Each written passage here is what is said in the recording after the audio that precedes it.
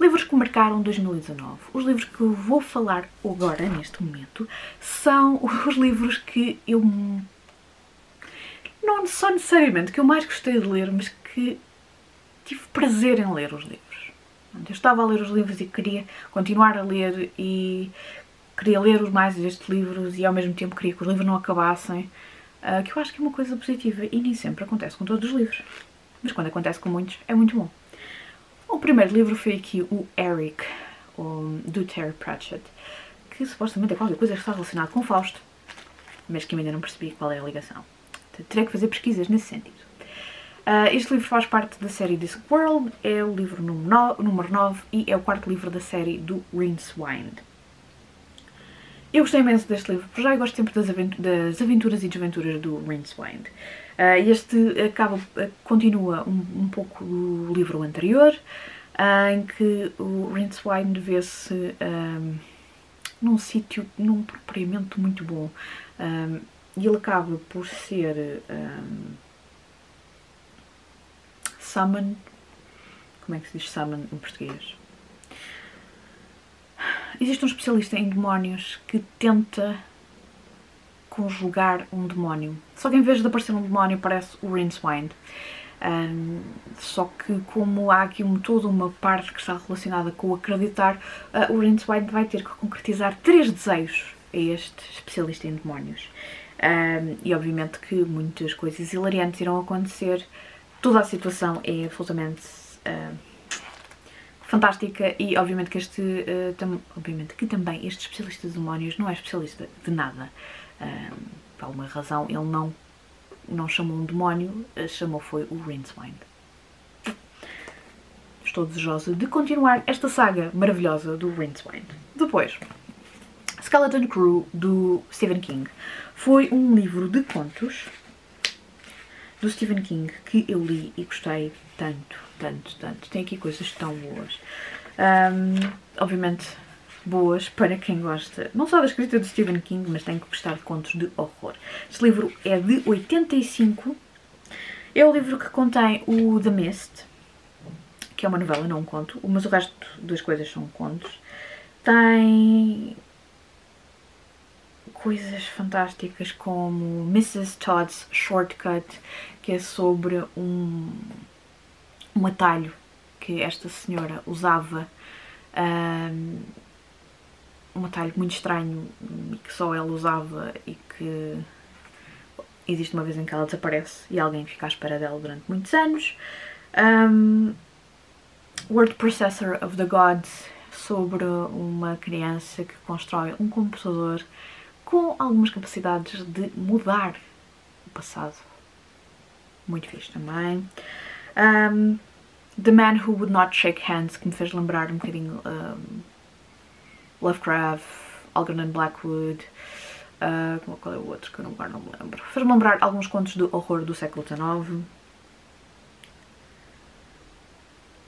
Uncle Otto Struck e, no geral, os contos deste livro uh, são um pouco diferentes de, de, algumas coisas escritas pelo Stephen King, de, dos livros do Stephen King, mas uh, ele tem um timing nos contos que é get to the point e despacha a história, e às vezes tem contos muito pequenos, outros um bocadinho maiores, mas uh, às vezes parece que ele não, ele não se perde.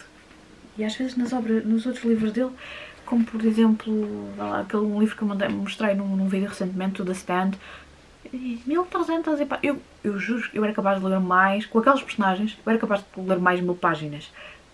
Mas não havia necessidade, se calhar, de tanta... Enfim. Seguida, os contos de Algernon Blackwood, novamente, uh, horror. Foi a primeira vez que eu li Algernon Blackwood, uh, gostei imenso. Destaco os contos porque ele é mais conhecido, que é Os Salgueiros e o Wendigo, um, que foi muito interessante porque eu li o Wendigo uh, depois de ler o Salem's Lot. Quem já leu percebe o porquê da ligação e é um terror diferente de, por exemplo, do Lovecraft, é um terror diferente do Stephen King, porque em particular no, nos Salgueiros e no Endigo acaba por ser um terror.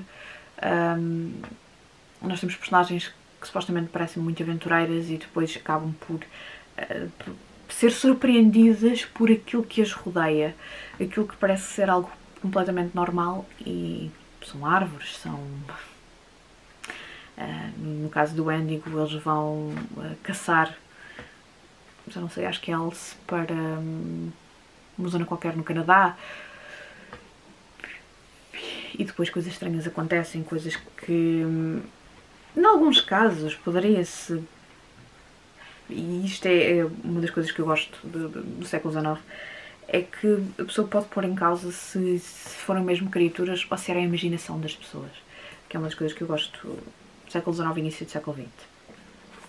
Um, e o que o próprio o próprio autor, o Algernon Blackwood, era uma figura bastante sui generis e misteriosa, portanto eu vou querer mais, ler mais do autor e se calhar, se houver coisas até sobre o autor, não sei se será interessante ler ou não. Depois de seguida li o li não, escolhi aqui o Little Birds da Anais Nin. Uh, eu gostei imenso deste, destes vários contos da autora, apesar desta letrinha muito muito pequena e por acaso este até foi um dos contos que eu gostei uh, a modelo. Alguns dos contos não sei se estão ligados com alguma experiência de vida da autora, uh, mas gostei, isto foi não sei se foi a primeira coisa que eu li da Anais Nin, mas eu acho que sim, e gostei, gostei imenso. Vou ler mais coisas da autora. A queda de Gondolin do, do Tolkien, porque uh, qualquer razão para regressar à Terra-média é uma boa razão.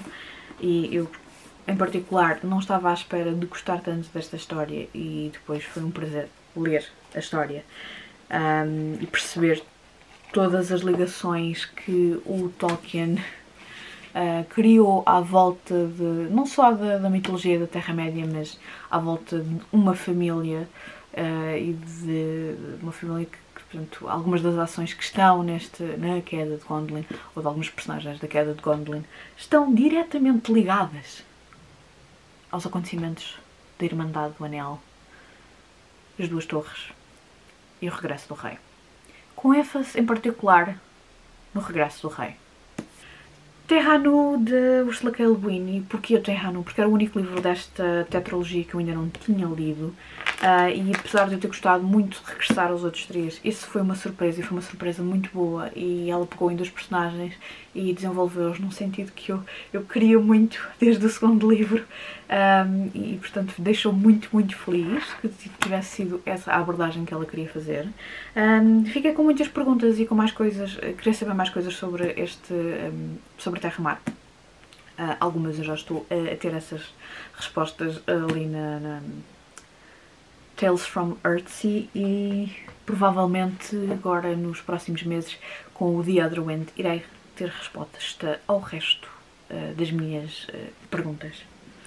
Dreamcatcher do Stephen King. Eu gosto do filme. Eu sei, a maior parte das pessoas não gosta. Uh, também há muita gente que não gosta do livro.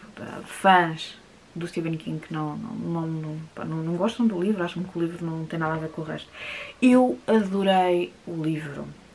O livro. Aquilo que eu podia comparar o livro era ao filme. O filme não é uma má adaptação, mas o livro é 100 mil vezes melhor. Um, é um livro que até o próprio autor não gosta muito, porque ele estava muito medicado quando escreveu este livro e por isso mesmo há aqui algumas coisas que podem ser assim um bocadinho maradas. Eu gostei imenso. É um livro que fala sobre uma tentativa de uma invasão de aliens. Eu não vou tentar dizer a outra palavra porque cada vez sei falar menos português. Um, uma invasão de aliens e existem quatro amigos que vão estar numa posição privilegiada para poderem uh, impedir esta invasão. E é muito interessante porque nós vamos entrar, no caso de algumas personagens, vamos entrar diretamente na cabeça delas, em particular na, na, na cabeça do Jonassy e um, ehm, na cabeça do alien que vai tentar controlar, uh, porque estes aliens são tipo aliens parasitas, um, ehm, que é sempre uma maneira interessante de abordar aliens. Uh, e pronto, eu não sou especialista em aliens, mas gostei imenso da maneira como foi desenvolvido aqui neste livro. Pássaros na Boca da Samantha Schweblin. Eu, efetivamente, gostei imenso do livro, gostei dos contos. Tem aqui contos que têm twists que são a minha praia e eu vou querer ler tudo aquilo que conseguir arranjar da senhora. Tem. Gostei daqui de um conto que falou o segundo, que é Mulheres Desesperadas, que tem um twist. Chuchu, Pássaros na Boca, que é o título, o que dá aqui título, também gostei imenso. Um, Matar um Cão, que também é um. Também tem um twist. Uh, a medida das coisas, apesar da, apesar da mala de Banavides, também é espetacular. Conservas, o Pai Natal dorme em casa. Se puderem pôr as mãos neste livro, façam. Não sei se vai toda, não sei se toda a gente vai gostar, mas eu efetivamente gostei muito. Let the Old Dreams Die, do John Lindquist. Uh, um livro para quem gosta de coisas de horror. E apesar de um dos meus contos favoritos não estar aqui, porque esta é a edição inglesa, eu li a edição americana que tem mais um conto. Uh, ainda estou chateada com isso. Uh, por exemplo, o primeiro conto, o Border, foi o conto que me fez querer ler o resto do livro e eu acho que é absolutamente fantástico. Para já, uh, fala de um tipo de criaturas que muitas vezes não, não aparece em, em histórias. Uh, não há muitas histórias com trolls. e além disso, os trolls nórdicos não são completamente iguais aos trolls dos outros países. De qualquer maneira, eu gostei imenso. Gostei imenso, a sério. Um, se gostam de horror, é um livro a explorar e é um autor a explorar. Que é que existe em português dele? Só o let, acho que é só o Let Right One In. Que eu não sei se será a melhor coisa dele, mas. É, quer dizer, a opinião pública diz que sim. Mas eu gostei mais deste. Mas eu sou do contra e às vezes, portanto, enfim, whatever.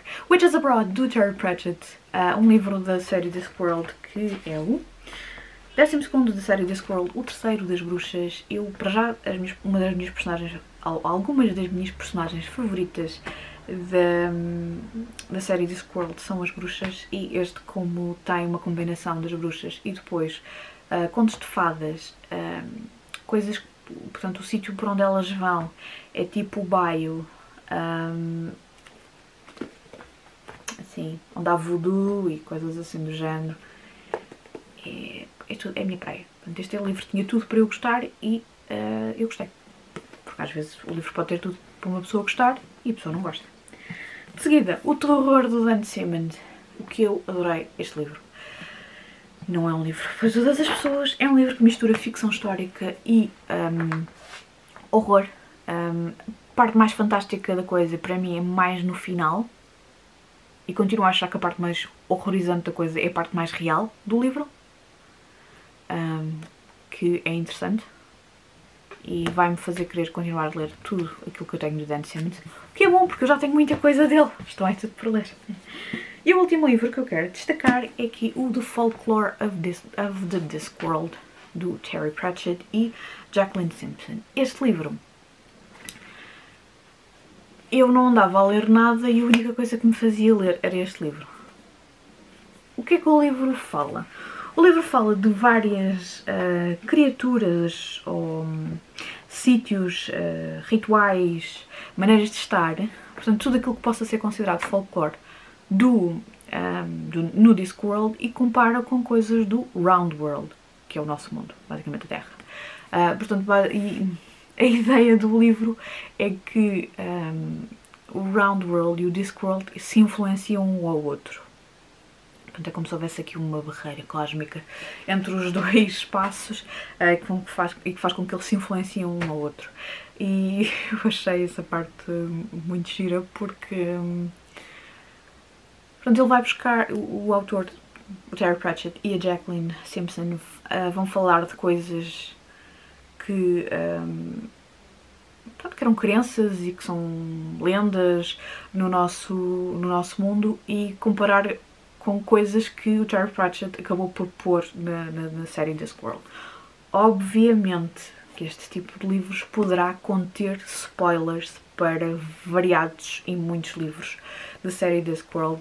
Um, houve alguns que me apanharam de surpresa, houve outros que eu não estou nada preocupada que, pelo contrário, fez foi com que eu tivesse mais vontade de ler os livros da série Discworld. Mas uh, se são pessoas que não gostam de spoilers, então uh, comecem pela série. Que também, por outro lado, assim, ler isto só no final de ler a série Discworld, se calhar também há algumas coisas que vocês olham para aquilo que eles estão a falar e dizem mas isto não me acrescenta nada, eu sei, eu já li os livros. Portanto, deixa ao vosso critério quando é que acham que será uma altura indicada para ler estes livros, se alguma vez o irão querer ler sequer. Estes foram os três livros que mais gostei de ler ou que mais me deram prazer ler durante a primeira metade do, do ano de 2019. E vocês já leram algum destes livros? Que livros é que vos marcaram a vossa primeira metade do ano? Digam-me tudo nos comentários e até ao próximo vídeo.